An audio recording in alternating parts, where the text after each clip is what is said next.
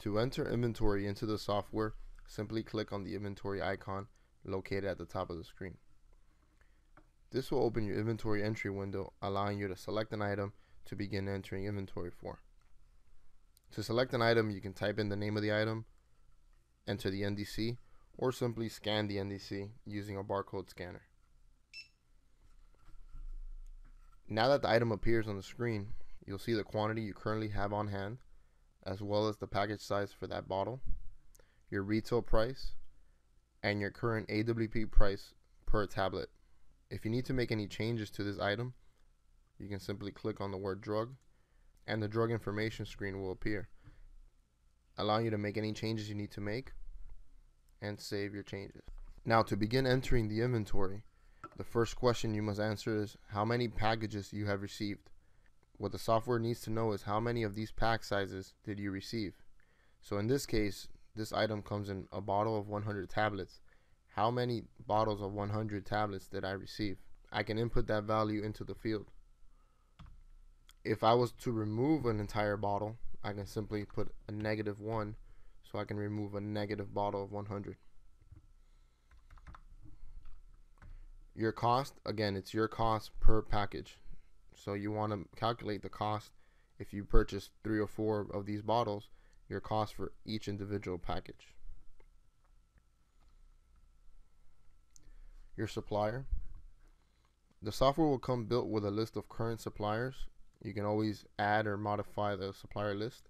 You can add a new supplier from the menu here, or you can view a more detailed database by going to File, Supplier.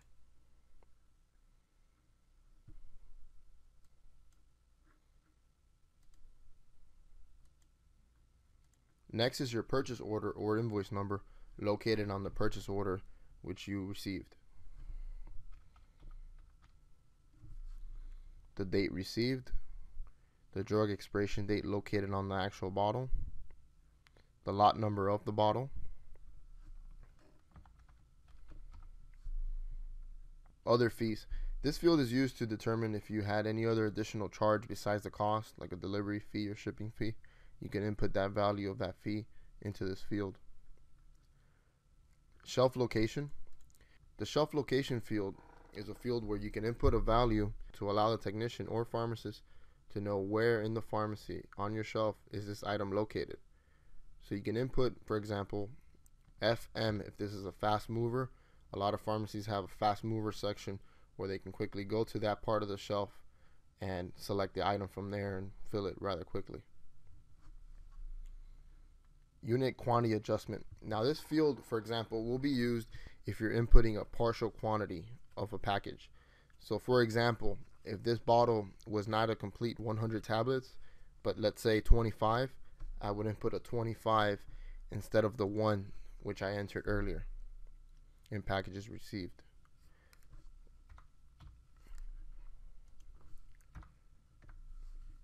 Now that all my fields are populated, I can select save and my inventory has been entered and I can continue entering the next item on the list. The reset icon at the bottom of the screen allows you to reset your package sold to zero as well as your quantity on hand to zero. This is a useful tool for a pharmacy that has been dispensing medications without having entered inventory. You can do a reset, go back to zero, and begin entering inventory the correct way.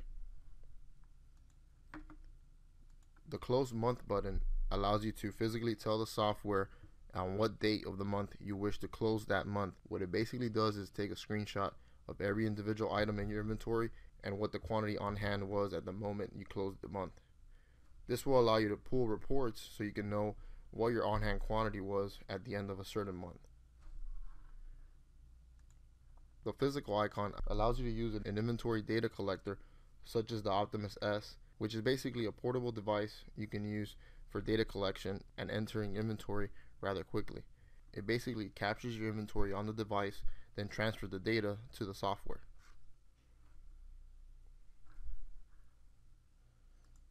Now we're going to go over some of the reports that you can use as you enter your inventory. We'll click on the report menu at the top. And we're going to change from prescription to inventory.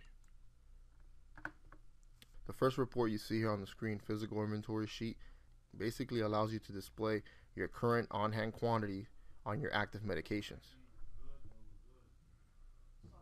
So for example, right now we're viewing my current active drugs and what the current on-hand quantities are for these medications.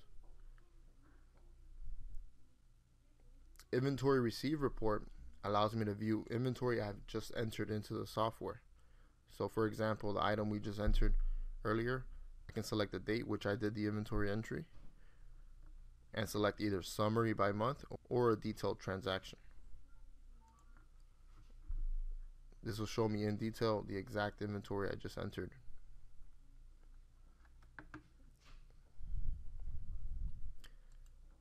The inventory monthly value report is the report you would use in conjunction with the close month feature.